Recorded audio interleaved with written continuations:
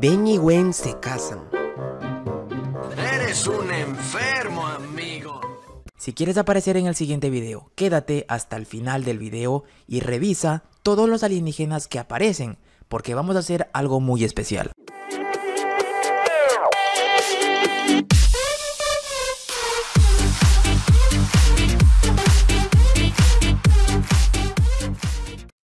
Hola buenas a todos, yo soy Frío y bienvenidos a un nuevo video. Esta vez nos encontramos en Ben 10 Rebot, la tercera temporada. Tenemos noticias muy buenas acerca del Rebot, desde los nuevos alienígenas que tendrá Kevin hasta los poderes de Slapback. Y faltando mencionar la noticia más hypeante es el Antitrix de Kevin.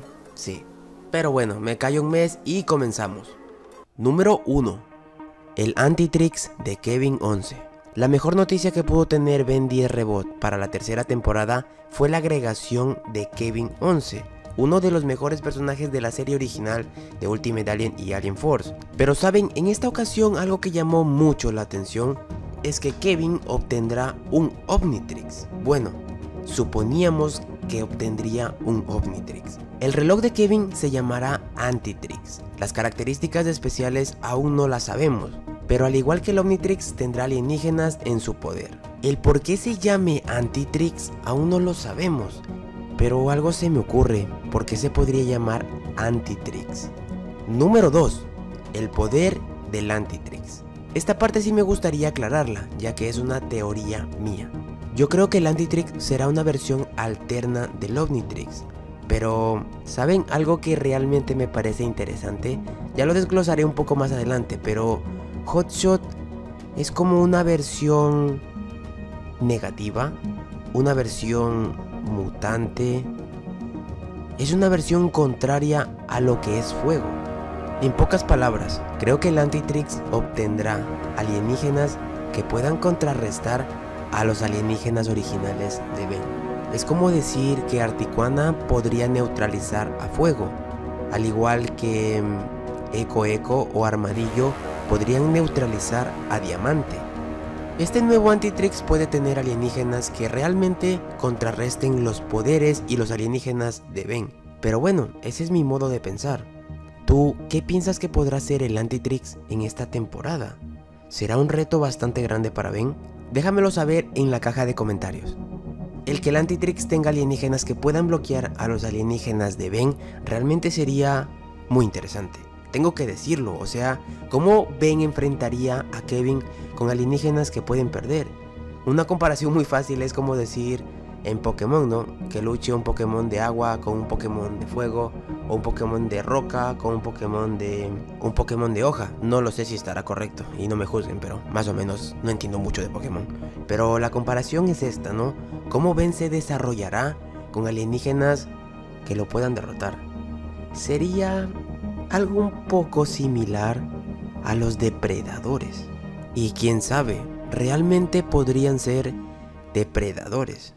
Número 3. El Nemetrix de Kyber. Todos sabemos que en Ben 10 Omniverse, Kyber obtuvo un Nemetrix con la ayuda del Dr. Psychobots.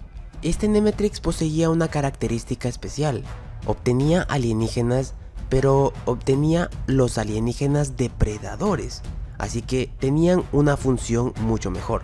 Eran alienígenas que podían ganar al ellos ser muy superiores. Ahora, ¿cómo relacionar que Kyber está involucrado en el Omnitrix de Kevin?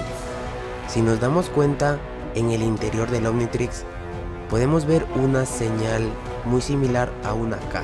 Si además logramos asociar que los alienígenas podrían contrarrestar a los alienígenas de Ben, todo nos daría a pensar que realmente este es un Nemetrix y es creado por Kyber. Una versión muy antigua, pero podría ser. Bueno, no creado realmente por Kyber. Si el reloj es creado, imagino que será creado por el Dr. Psychobots. Pero bueno, la K tendrá algo que ver con Kyber. Puede ser lo mismo que pasó en Omniverse, una petición de Kyber para que el Dr. Psychobots pueda crear un aparato que pueda controlar los alienígenas depredadores de, de todo el universo. Número 4. Los 11 alienígenas de Kevin. Y sí gente, en esta ocasión Kevin tendrá 11 alienígenas, uno más que Ben. La posibilidad tan grande de que alienígenas obtendrá Kevin son infinitas y más aún si pensamos que Kevin obtendrá alienígenas que puedan derrotar a los alienígenas de Ben. Si recordamos a los 6 alienígenas originales que tiene Ben, que son Fuego, Cannonball, Diamante, Cuatro Brazos, Insectoide y XLR8, Kevin para contrarrestarlo necesitaría alienígenas que puedan volar, alienígenas que sean rápidos, alienígenas que tengan mucha fuerza. Este duelo de posibles alienígenas me, emociona realmente. Espero que realmente sea así y que no solamente sean los mismos alienígenas de Ben, pero con la versión de Kevin. Porque yo digo, sería muy interesante poder ver nuevos 10 alienígenas, nuevas formas que contrarresten el poder, o sea, sería algo sumamente genial que ayudaría mucho al show. Ver los alienígenas repetidos, pero con la forma de Kevin, ah, bueno, vale, ¿no? Se pelea, se hace esto. Pero ¿qué pasaría si serían nuevos 10 alienígenas que solo el Antitrix tenga? O sea, llevaría a un mundo mucho más allá, como lo era con el Nemetrix realmente. Los alienígenas que estaban ahí podían hacerle competencia a Ben, y mucha competencia. Ben tenía que ingeniársela mucho para poder sobrevivir y tratar de ganarle a los alienígenas con los que sabía que podía perder. Número 5. Hotshot. De este alienígena aún no tenemos muchos detalles de sus poderes, pero debido a su nombre será algún tipo de rival para fuego. Número 6. Control o poder sobre el Omnitrix. Este es un punto que quiero debatir.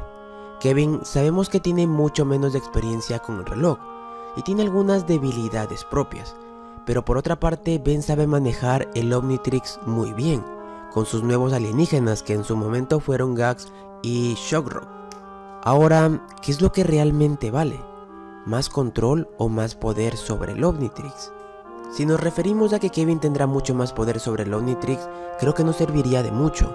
Cuando Kevin se hizo mutante, tenía los poderes de todos los alienígenas de Ben, pero de igual manera no podía utilizarlos. Ben, por otra parte, sabe utilizar a la perfección cada alienígena, y como lo demostró, puede fusionar poderes de alienígenas para su mejor funcionamiento.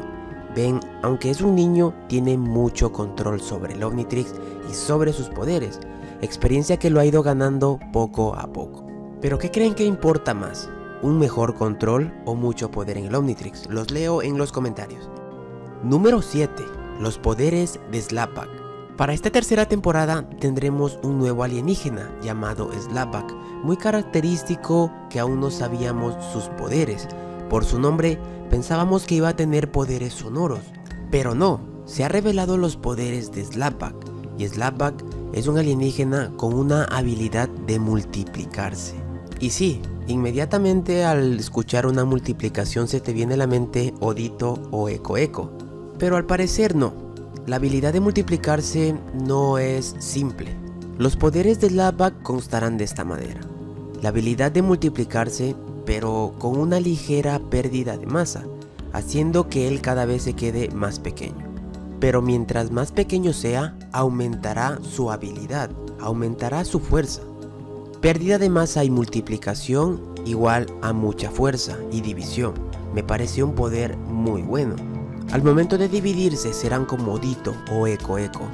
Eso no lo sabremos. Si son como Eco Eco, al destruirse uno no pasará nada con los demás pero al tener la habilidad de Dito, si uno es golpeado, los demás también sentirían el dolor. Pero bueno, esto lo averiguaremos en la tercera temporada de Ben 10 Reboot. Número 8. ¿Humungosaurio podrá crecer? En Alien Force y Ultimate Alien, Humungosaurio tenía una habilidad muy peculiar, y era que podía crecer.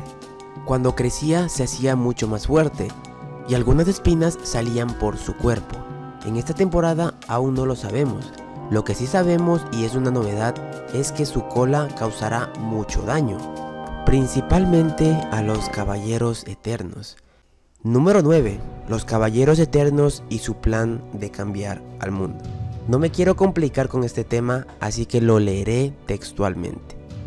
Los caballeros eternos están reclutando a un grupo de personas desconocidas que parece cambiarán el mundo para siempre. No pienso hacer ninguna teoría correspondiente a esto, pero creo que será en base a toda la temporada de Ben 10 Rebot. Así que quiero escucharlos a ustedes. Por favor comenta cuál es el plan de los Caballeros Eternos que tú crees que ellos realizarán, con quiénes crees que se van a unir y contra quién estarán peleando. Leeré todos los comentarios y los veré en el próximo video. Yo soy Frío y conmigo será hasta la próxima. Adiós. Para ser saludado es muy simple, encontrar el huevo de Pascua que dejo escondido en todos los videos o realizar un meme como el que viste al principio, pero con la temática Ben 10. Los videos los puedes enviar en mis redes sociales o en el correo que aparece a continuación. Esta vez el huevo de Pascuas estaba escondido en el minuto 6.14. Y estas son las personas que lograron encontrar el huevo de Pascuas. Un saludo muy grande para Manzanita Blue, Llama y Dragon Killer. Me despido nuevamente, yo soy Frío y conmigo será hasta la próxima. Adiós.